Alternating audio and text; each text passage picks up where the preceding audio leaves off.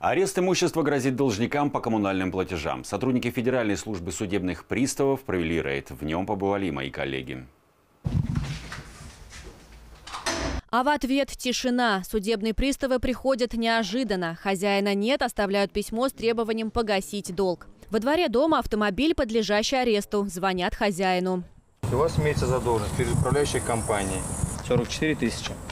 Вот мы сейчас находимся возле вашего автомобиля. Мы сейчас проведем арест имущества с участием понятых. Если собственник квартиры не платил за коммунальные услуги больше трех месяцев, на имущество накладывается арест. В данном случае автомобиль. Машину пока не конфисковывают, но ездить на ней водителю нельзя. МОСОВЛРЦ направляет квитанции должникам с указанием суммы задолженности. И в случае, если задолженность не оплачивается добровольно, далее идет взыскание в судебном порядке.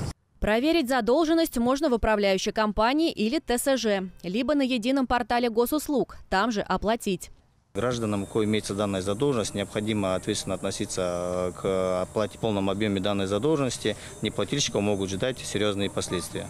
После наложения ареста у должника есть 10 дней на оплату долга и два варианта его погашения – продать свою собственность, либо взять рассрочку в управляющей компании. Если данный гражданин не успевает за 10 дней погасить задолженность, судебный пристав исполнитель принимает полный комплекс мер для реализации данного имущества э, через публичные торги, либо на комиссионных началах.